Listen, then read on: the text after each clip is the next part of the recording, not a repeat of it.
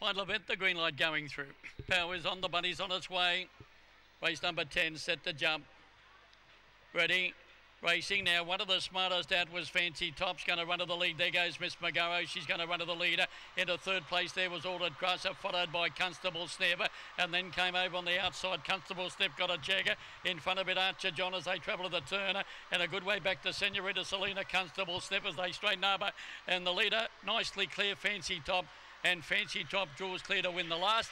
In second place, Ordered Crusher, Miss McGarrow, and then further back there to uh, Archer John. A good margin away to Senorita Selena Constable and last of all, uh, the other one there was Ordered Crusher. Final event. The numbers will be two, four, and eight. The winner number two, Fancy Top.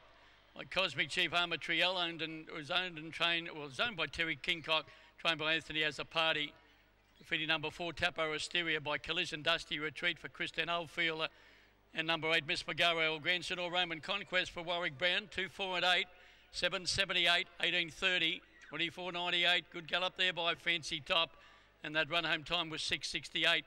Those numbers 248 and 7 on the final event.